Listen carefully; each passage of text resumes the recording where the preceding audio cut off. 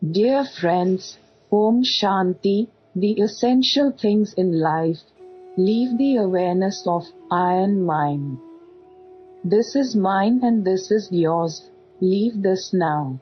When I am close to God, I receive whatever I need. I simply have to be happy and truthful. Learn to be happy, live now in this present moment. Forget everything about the past. We have to be very truthful with everyone, including ourselves. Truthfulness, cleanliness, and simplicity. These are essential in life. We shouldn't speak that which is even slightly untrue. When you speak, don't mix truth and untruth.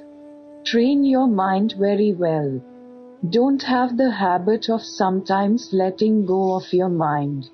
Train it with care. Keep your mind with God, with love.